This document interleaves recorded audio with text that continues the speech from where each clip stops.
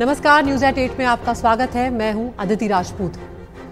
और शुरुआत कर रहे हैं इस वक्त की बड़ी खबर आ रही है महाराष्ट्र से, जहाँ पर नांदेड़ से में एक बड़ा हादसा हुआ। है एक अस्पताल में 24 घंटे में 24 मौतें यहाँ पर हुई हैं। नांदेड़ का सरकारी अस्पताल ये बताया जा रहा है। और ये जो 24 मौतें हुई हैं 24 घंटे में, इसमें 12 नवजात बच्चे हैं और 12 व्यस्क हैं। शुरुआती जानकारी ये मिल रही है कि ज़्यादातर मौतें जो हैं वो सांप के काटने की वजह से हुई हैं। यहाँ पर कांग्रेस नेता अशोक चौहान ने यह आरोप लगाया है कि अस्पताल में मेडिकल स्टाफ और सुविधाओं की कमी के चलते ये मौतें हुई हैं। हमारे साथ हमारे सहयोगी पूजा भारद्वाज मुंबई से फ़ोन लाइन पर जुड़ गई हैं। पूजा, बहुत ही दुखद ये खबर है कि 24 घंटे में एक सरकारी अस्पताल में 24 मौतें हो गई हैं। क्या जानकारी इस वक्त मिल रही है? जी अदिति, अगर हाल के दिनों में आप देखें तो महाराष्ट्र के ठाणे में एक ऐसा मामला था जहाँ पर 18 लोगों की मौतें हुई थी और वो मामला अभी ठंडा भी नहीं हुआ। उस पर पूरी तरह से सफ़ाई सामने नहीं आई, लेकिन आप देखें महाराष्ट्र का नांदेड़ जिला और डीन की जो बाइट है जो उन्होंने बात कही है मीडिया से, वहाँ पर वो बातें वैसे सवाल उठाए हैं जिस पर महाराष्ट्र सरकार को जवाब देना होगा। क्योंकि उनका कहना है कि 80 किलोमीटर के आसपास आप देखिए वो इलाका जिस, जहाँ ये अस्पताल है, वहाँ पर दूसरा ऐसा कोई अस्पताल नहीं है, इसलिए जितने भी क्रिटिकल मरीज़ हैं, गंभीर मरीज़ हैं, वो इनके यहाँ पर भर्ती हैं। जो क्षमता है उससे कहीं ज़्यादा भर्ती है। 500 की अगर क्षमता है यहाँ पर बेड की तो समझे आपकी 1200 के आसपास मरीज़ यहाँ पर भर्ती हैं। विपक्ष इस पर सवाल भी उठा रहा है। तो 24 घंटे में 24 मौतें ये हुई हैं। डीन की ओर से जानकारी ये मिल रही है कि इसमें अलग अलग तरह की बीमारियाँ, और खासतौर से सबसे ज़्यादा जो सांप के काटने की वजह से जो मरीज़ यहाँ पर भर्ती हुए हैं उनकी संख्या ज़्यादा है। सबसे ज़्यादा दुखद बात यह है कि 12 नवजात बच्चे हैं इसमें। जो कुल 24 मौतें हुई हैं, उनमें 12 नवजात बच्चे हैं। छह लड़कियाँ हैं और छह लड़के हैं जिनकी मौत हुई है। उस पर आप देखिए, विपक्ष तुरंत हमलावर है। अशोक चौहान कांग्रेस के नेता, महाराष्ट्र के पूर्व मुख्यमंत्री, यहाँ पर उन्होंने दौरा किया इस अस्पताल का। और वहाँ उन्होंने बात कही है किस तरह से जो कमियाँ हैं इस अस्पताल में उन्होंने गिनाई हैं। सुप्रिया सुले ने कुछ देर पहले प्रेस कॉन्फ्रेंस की उन्होंने भी सरकार को घेरा। लेकिन मुख्य तौर पर अगर आप इस सरकार इस अधिकारी की ही बाइट को आप समझें जो उन्होंने मीडिया से कहा कि आसपास अस्पताल न होने की वजह से क्षमता से कहीं ज़्यादा मरीज़ यहाँ पर हैं ऐसे में जो बजट इनको दिया जाता है वो उसमें गड़बड़ी होती है। जो दवाइयों की सप्लाई है हफकिन की वजह की तरफ़ से उसमें भी, भी गड़बड़ियाँ हुई वहाँ पर वो सप्लाई रुकने की वजह से भी यहाँ पर बहुत ज़्यादा स्ट्रेस अस्पताल के ऊपर पड़ा। हालाँकि उनका कहना है कि आसपास से दवाइयाँ खरीद कर लोकली जो प्रोवाइड हो रही हैं उनको दी जा रही हैं। लेकिन 24 घंटे में 24 मौतें हो चुकी हैं जिसमें 12 नवजात बच्चे हैं 12 बड़े हैं और वहाँ पर प्रोटेस्ट भी शुरू हो चुका है। एक तरह से जो तमाम परिजन है वहाँ पे पहुँचने शुरू हो गए हैं और जो सियासी दौरे हैं वो भी शुरू हो गए हैं। तो सरकार की तरफ़ से अभी आप देखें एक नाथ शिंदे मुख्यमंत्री उन्होंने मीडिया से कहा कि उन्हें ज़्यादा इस बारे में जानकारी नहीं है लेकिन कार्रवाई होगी। तो एक तरह से एक के बाद एक जो स्वास्थ्य की व्यवस्था है महाराष्ट्र में वो चरमराती हुई दिख रही है। ठाणे में हाल ही में अठारह मौतों के बाद ये बड़ा झटका चौबीस मौतों का नांदेड़ से ये बिल्कुल बहुत बहुत शुक्रिया पूजा इस तमाम जानकारी के लिए। तो नांदेड़ से एक बेहद दुखद खबर है, एक सरकारी अस्पताल में 24 घंटे में 24 मौतें हुई हैं, जिसमें से 12 नवजात हैं और ज़्यादातर जो हैं वो सांप के काटने के चलते यहाँ पर भर्ती हुए थे। अब यहाँ पर शिंदे सरकार जो है उसे जवाब देना होगा, क्योंकि अस्पताल में मेडिकल स्टाफ और सुविधाओं की कमी के भी आरोप यहाँ पर लग रहे हैं। आगे बढ़ रहे हैं। बिहार की बात करते हैं, जहाँ पर जातिगत गणना की रिपोर्ट आज जारी हो गई है। राज्य की तेरह करोड़ की आबादी में तिरसठ फ़ीसदी लोग पिछड़ी जातियों के हैं, जबकि अनुसूचित जाति के करीब बीस फ़ीसदी और सामान्य वर्ग के लोग पंद्रह प्रतिशत हैं। ये रिपोर्ट आने के बाद राजनीतिक हलचल भी बढ़ गई है। बिहार के मुख्यमंत्री नीतीश कुमार ने जल्द एक विशेष बैठक बुलाने की घोषणा की है। हमारे सहयोगी मनीष कुमार की रिपोर्ट।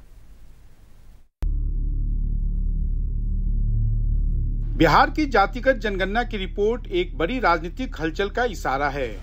इस रिपोर्ट के मुताबिक, बिहार की 13 करोड़ की आबादी में राज्य में पिछड़े, अति पिछड़े और अनुसूचित जाति के लोग चौरासी फ़ीसदी से ऊपर हैं, जबकि अनारक्षित या अग्रा वर्ग 16 फ़ीसदी से कुछ कम है। पिछड़े 27 फ़ीसदी हैं, अति पिछड़े 36 फ़ीसदी हैं, दलित उन्नीस दशमलव पैंसठ फ़ीसदी हैं। जनगणना में अलग अलग वर्गों में बटे मुसलमान कुल सत्रह दशमलव सात फ़ीसदी है। और राज्य में राजनीतिक तौर पर सबसे मज़बूत माने जाने वाले यादव चौदह दशमलव छब्बीस फ़ीसदी हैं। हम तो आपको कह रहे हैं कि जो हम लोग बिहार में कर रहे हैं कोई आज तक किया है, बिहार के जितना बढ़ना होगा, और इसके बारे में हम लोग जो उसके हित में कोई भी काम, सभी जातियों का ये नहीं कर रहे एक भी बात हम कर रहे हैं। सबके हित में जो काम आगे बढ़ेगा तो वो हम लोग करेंगे। और बाकी उन लोगों को अभी तक नहीं किया। बोलिए ना भाई दस में तो मान लीजिए कि जाति आधारित नहीं करता जनगणना तो होना चाहिए था ना तो नहीं ना हुआ। साफ़ है इस रिपोर्ट के बाद दूसरे राज्यों में भी जातिगत गणना की मांग शुरू हो सकती है और राजनीतिक एजेंडा बदल सकता है। इस नए मंडल बनाम कमंडल की धमक ग्वालियर में प्रधानमंत्री की रैली में भी दिखी जहाँ उन्होंने विपक्ष पर जाति की राजनीति करने का आरोप लगाया। उनके पास भी मौका था। वो नहीं कर पाए। वो तब भी जात पात के नाम पर समाज को बांटते थे। आज भी वही पाप कर रहे हैं। नब्बे के दशक में मंडल के बाद सोशल इंजीनियरिंग के ज़रिए कमंडल को बड़ा करने वाली बीजेपी फ़िलहाल सतर्क है।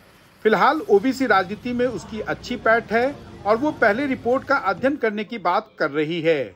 जबकि सामाजिक न्याय से जुड़ी पार्टियों को लग रहा है कि इससे राजनीतिक एजेंडा बदलेगा। जो उन लोगों ने लिस्ट जारी किया है लगभग लोग समझ यही रहे थे लेकिन अब किस मैकेनिज्म के माध्यम से उन्होंने किया है ये पूरे अध्ययन के बाद भारतीय जनता पार्टी अपना पक्ष रखेगी। साइंटिफिक जो डेटा जो है आर्थिक सामाजिक न्याय की जो लड़ाई, लगातार हम लोगों ने जो लड़ी है, और चुनाव में भी यह हमेशा से हम लोगों का अहम मुद्दा रहा है, बेरोजगारी और जातीय जनगणना को लेकर के। बिहार में जातिगत गणना के नतीजे दूर तक जा सकते हैं। अभी जो धर्म के आधार पर बहुसंख्यक, अल्पसंख्यक राजनीति है, वो आने वाले दिनों में अगले पिछड़ों में बदल सकती है। यह वो संभावना है जिससे बीजेपी बचना चाहेगी।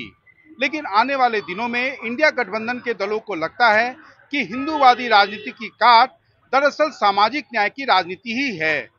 पटना से कैमरामैन हबीब अली के साथ मनीष कुमार, एनडीटीवी इंडिया के लिए। एक और बड़ी खबर आज दिल्ली से आई, आईएसआईएस मॉड्यूल का भांडा फोड़ हुआ और एक बड़ी साजिश को नाकाम करने की बात कही गई है। एनआईए की ओर से मोस्ट वांटेड घोषित शाहनवाज को गिरफ़्तार किया गया है। दिल्ली पुलिस की स्पेशल सेल ने यह गिरफ्तारी की है। बताया जा रहा है कि पेशे से इंजीनियर शाहनवाज दिल्ली में रह रहा था और पुणे पुलिस कस्टडी से फरार होकर वो दिल्ली में ही उसने अपना ठिकाना बना लिया था। पुलिस ने आईएसआईएस के दो और संदिग्धों को भी यहाँ पर गिरफ़्तार किया है। शाहनवाज को जैतपुर से, अरशद को मुरादाबाद से, रिजवान अशरफ को लखनऊ से गिरफ़्तार किया गया है। तीनों को सात दिनों की पुलिस कस्टडी पर भेजा गया है। विदेश में बैठे हैंडलर्स के इशारे पर ये बड़े हमले की तैयारी कर रहे थे, ये जानकारी इस वक्त निकल कर आ रही है।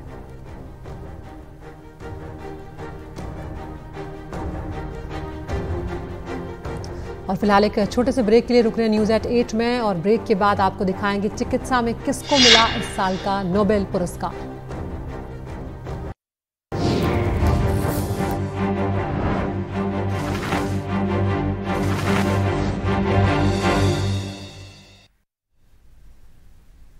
ब्रेक के बाद एक बार फिर से आपका स्वागत है। फिजियोलॉजी और मेडिसिन के क्षेत्र में 2023 का नोबेल पुरस्कार दो वैज्ञानिकों को दिया गया है। कैडेलिन कैरिको और ड्रेयू विजमैन को न्यूक्लियोसाइड बेस संशोधनों से संबंधित खोज के लिए ये सम्मान मिला है। इस खोज की वजह से कोविड 19 के खिलाफ प्रभावी आरएनए वैक्सीन का विकास हो पाया। मूल रूप से हंगरी निवासी कैटेलिन कैरिको एक मशहूर हंगेरियन अमेरिकी बायोकेमिस्ट है और वहीं ड्रू विजमैन जो है, वो एक अमेरिकी चिकित्सक वैज्ञानिक है। आज महात्मा गांधी की जयंती है। देशवासी अपने अपने अंदाज में बापू को याद कर रहे हैं। गुजरात के वडोदरा में रहने वाले अतुल शाह नक्शिक बीते पंद्रह सालों से हर गांधी जयंती के मौके पर गांधी जी को लेकर अलग अलग थीम पर आधारित प्रदर्शनी का आयोजन करते हैं और इस साल उन्होंने गांधी जी के ऊपर देश भर के पोस्टल ऑफ़िस द्वारा जारी की गई डाक टिकट और कैंसिलेशन कवर की प्रदर्शनी लगाई है, जिसमें बापू के अलग अलग अंदाज जो हैं वो देखने को मिल रहे हैं।